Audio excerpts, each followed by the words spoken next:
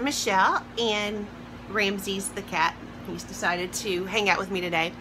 Um, I just wanted to do a quick update. I've not done one in a while. Um, I had uh, reconstructive surgery, I guess you can call it, plastic surgery, uh, six weeks, six and a half weeks ago. I had it Tuesday, um, July 21st in Fayetteville, Arkansas at Physician Specialty Hospital and Dr. Jeff Swetnam of Swetnam Cosmetic Surgery in Fayetteville, Arkansas was my surgeon. And I'll leave uh, his Facebook page below. I'm telling you, I drove eight hours for him. He is hands down the best surgeon. I had a couple consults um, before I decided to go to him and I'm telling you, I left the other surgeon's office with that feeling of um, uncertainty and a little bit nervous. I left his office going, he's the man. He's the one that's going to do this. And that is something, with something as major as I had, it really makes a difference. Now, um, I had, for those of you that don't remember, sorry, I've got bronchitis. Of course, after major abdominal surgery, I ended up with bronchitis. Um, I had a full body lift with the Fleur de Lis component and they removed 42 pounds of gunk off of my abdomen area.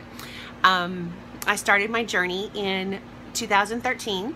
I had the vertical sleeve gastrectomy, the first best decision, besides of course my husband and my kids, um, I ever made. I weighed 418 pounds. My highest weight was 424 pounds that I know of documented, documented. And I have lost 209 pounds so I have lost half my body weight. Now that does fluctuate every day. Um, I swell. Like I can see it in my face in the the phone right now. Uh, my face is a little puffy. Um, it, it'll all depend on the day actually. I can weigh anywhere it just it fluctuates about 10 pounds.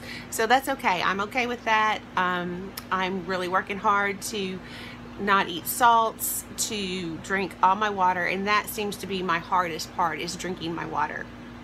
There is a couple other things I would like to suggest. Um, I'm sorry, I'm a little hyper and a little scattered. I have not started back on my ADHD medicine, which I think I'm going to have to because, um, you know, squirrel all the time. So let me, I apologize for that ahead of time. Um, I uh, recommend to you, I had a, a, a, good bit of liposuction done. Um, I did not bruise. I did not have the first bruise. And I did a lot of research beforehand and I read about arnica and my surgeon actually recommended arnica um, for bruising and all of that. And also bromelain, bromelain, bromelain, I believe it's called. It is a enzyme that's in pineapple.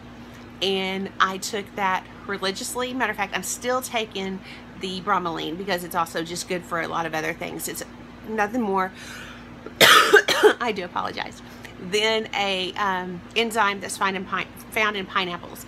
I get mine from a company called Piping Rock and I research I mean, that's what I do. I, I'm neurotic about that. I want to know everything there is to know about something before I do it, before I buy it, anything. Like the surgery, I watched three different surgery procedures um, before I had mine done because that's just, I, I, that's just me. I like to know, I don't want to know what to expect. But anyway, um, Piping Rock is an amazing company. Um, I've used their supplements. I use their essential oils. I have not had a dud yet. And I will leave a um, affiliate link down below where you can save either $10 off a $40 or more purchase or $5 off anything under $40. They're awesome. That's where I got my arnica and my bromelain.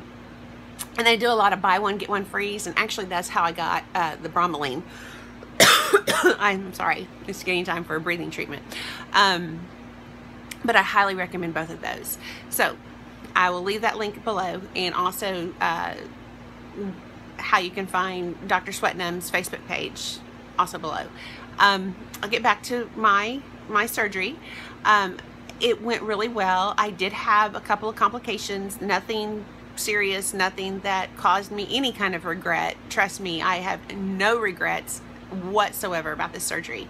Um, I love the fact that the compression garment that I'm wearing is an extra large and I have to go to Walmart today to get a smaller one because this one's getting too small. And that's just crazy to me because I started out shirts in a 6X and I've been buying XLs and I didn't even really have nothing was done up here. And the only reason why I'm in XLs is because I have you know the bat wings and so that's something that I'm going to try to work on in the gym. I've had several people ask me if I'm ever going to have like my arms and my thighs done. Um, I don't know. I, I don't see how I can afford it because this was cash. Uh, we, we, we did the self-pay and it was nothing more than the grace of God that this was able to happen. And I'm so very thankful that it was able to happen. But I got the part that was causing me problems done. I had chronic backaches. Um, and I've had a lot of people ask me, by the way, if this hurt, if this surgery is painful. No, not compared to what I was dealing with before. And plus, I have a super high pain tolerance. And I really, I took the pain medicine that was prescribed for me to help me sleep after surgery. I really didn't need it for pain. Um, that's just remarkable to me that I'm literally cut all the way around. I've been filleted, cut in half and filleted, and there's been no pain. Um, the only pain I had was like pulling tape off or, you know, something like that. Um, there's been very little pain. But I think even if there was any pain, it would have been a huge improvement over what I was dealing with before. Because that 42 pounds that he took off was all in my my abdomen area. So can you imagine walking and I was carrying that um, the skin infections. I won't gross you out by going into that. Um, it's just it was horrible, horrible. And I was using this stuff called, and I highly recommend this stuff. I got it from Amazon and it's called Lady Anti Anti Monkey Butt Powder. Um, it's a non, it's a friction powder, and I would put that under my slap flap is what I called it. Um, I would put that under there, and it really did help. Uh, I had horrible, horrible rashes, breakouts, skin infections um, the hygiene issue. It was so hard to keep clean. And when I'd go to the gym, it got to the point where I could not even go to the gym anymore because, especially in the summertime, I live in Mississippi. Well, let me tell you, if you've never been through a Mississippi summer, you don't know what hot is. You know, well, in the South, basically, because of the humidity. Um, there'd be days we'd have 80, 90% humidity. And there's so much difference between a dry heat and a humid heat. Um, but anyway, again, squirrel. Um, I got to where I couldn't even do that because it would just, it would, the, the rashes would get so bad. My back would hurt me so bad. Um, I couldn't do abdominals things because you can imagine, and I might have the nerve eventually to post the picture um, that was taken for my insurance purposes when we were trying to get insurance to pay for this. Um, I don't know if I can. It's pretty humiliating. Uh, but I'm pretty proud of where I am right now. Um, I got 20 to 30, maybe even up to 40 more pounds to lose. And I, it makes me feel so good because I have people say, where are you going to, you know, wh where are you going to lose this at? I'm hoping my arms and my thighs. Um, I have jello thighs is what I like to call them. It seems that when I swell, I swell in my legs. And my I have my grandmother's legs. Of all the things I get her legs. Um, and they're men's legs so you know they're, they're not real proportion but um, I think with those I could do a lot of exercises and stuff to kind of fix that in my arms. Um, so that's where I'd like to lose more weight. And my stomach I'm, I'm pretty pleased with it. I'd like to tone it up and to firm it up but I'm I'm pretty excited to where I am now. I'm still considered overweight on the BMI chart, but let me tell you, I'm very happily overweight. Um, it's better than being super morbidly obese or morbidly obese or actually my surgeon um, my that did my sleeve classified me as super super morbidly obese um, when I started this journey my BMI was 65.5 I had high blood pressure I was a type 2 diabetic I um, had human growth hormone deficiency I had um, cholesterol polycystic ovarian syndrome um, I mean, I could go on. Hypothyroidism, which I still have because once you get that, it's pretty hard to get rid of that. Um, but anyway, back to my surgery. I have good days and bad days still. There's some days that I'm exhausted. I'm exhausted all day long. Um, and one of the complications that I did have is my incision separated. Um, they had to actually remove the drain early I really think it's because of my coughing because I, I followed his instructions to a T, but I would wake up in the middle of the night with these horrible coughing fits. And we thought it was the irritation from the tube during surgery. But when I came home, and I stayed at my mother's for a month, but when I came home, it got so bad that I came home on Wednesday and was at the doctor's office Monday, and she diagnosed me with bronchitis. Um, thankfully, there was no pneumonia had set up. so that might have had the beginnings of the bronchitis when I was there or some sort of respiratory infection. Um, but I think that's what caused it. I, you know, I don't know for sure and it's not a big well it is a big deal but thankfully there was no infection. He had me on antibiotics for about three weeks i think. And then um, there was no infection. I keep it clean. I wash it uh, two to three times a day depending on if it needs it um, with ivory soap. Uh, that's what he suggested. And I just put maxi pads over it to keep the drainage from from getting out and stuff. Um, it's draining a lot less than it was. Uh, I'm hoping in another week or two that I can stop having to wear the pads because it's really uncomfortable. Um, but I'm very pleased. My scar looks great everywhere else except for the front part where, where it's still separated. Um, I am able to stand up straight. I've always had bad posture and I, well not always, but the past few years I've had really bad posture and I've blamed it on the weight of my gut. And I think now it's just a habit that I'm going to have to force myself to um, have better posture. So you can tell how tired I am by the slouch, pretty much. Um, well, let's see what else. The surgery itself was, I mean, I had no issues. The only issue I had um, was at night, the, the first night, when I kept trying to get up and that ended up being my blood pressure issue and um, I that was taken care of. Uh, they flushed IV fluids through me and as soon as they did that uh, I was able to get up and go home. Uh, I was initially supposed to stay two nights in the hospital and I only ended up staying one night which I'm very thankful for. I don't I don't like hospitals and it's crazy. I didn't mind the hospital. What I don't like is the IV port that they would not take out of my arm. And I know that sounds crazy. Of all things in a hospital not to like, I, I, I don't know what it is. I don't know. I can't stand IVs. Can't, I cannot handle them. The quicker you can get one out of me, the happier this girl is. So I got to go home. I stayed at my mom's for a month, um, which was awesome. I loved visiting with my mom. I did go into a very deep depression, I think around week two, and that's when the incision opened up, and I'm sure that had a lot to do with it. I know from my past surgeries, um, I, I, go through a depression, but I was also taking Cymbalta. Um, I have fibromyalgia, and um, I also went through a period after I lost all the weight, or lost a bunch of weight, that I had serious, serious um, anxiety. I'm talking, there could have been a drop in the water and it turned into a tsunami. I mean, it was horrible. So my doctor put me on Cymbalta because I'd been on it before and I'd had really good success with it.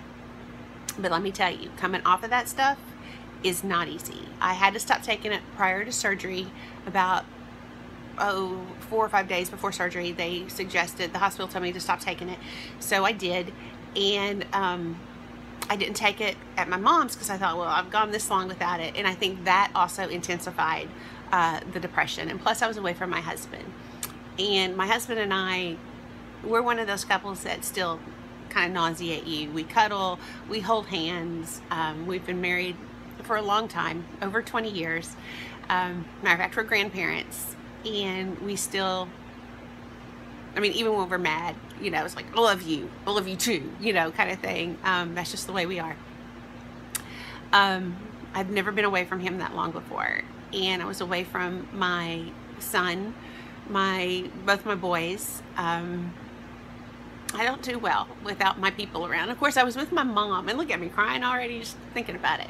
I was with my mom, which if I was not with my mother, I don't think I could have done it. Um, I don't think I could have stayed away as long. But after that separated, um, it was the best thing for me to stay because I was an hour away, whereas if I had come home, I'd been eight hours away.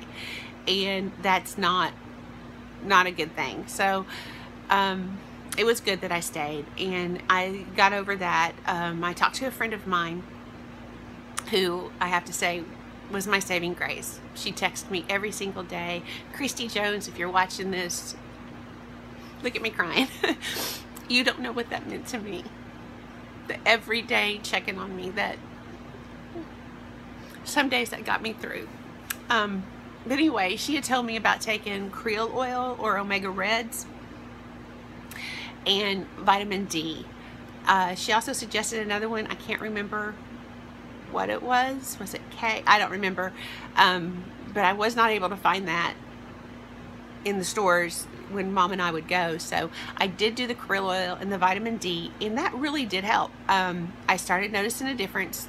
That one week was horrible. I wanted to just curl up somewhere and just sleep until it was all over with.